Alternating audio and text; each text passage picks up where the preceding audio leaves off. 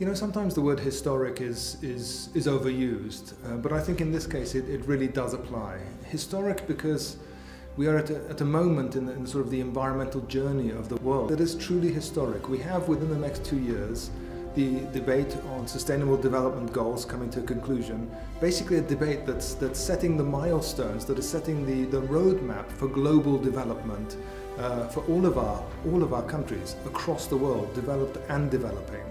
And at the same time, we're moving towards potentially a global climate agreement in 2015. So these two, just these two milestones, I think do make the, the, the, the UNEA historic, certainly in timing. And then you add to the mix the fact that this is the first time that all countries are members of, of, of UNEP's governing board, if you will.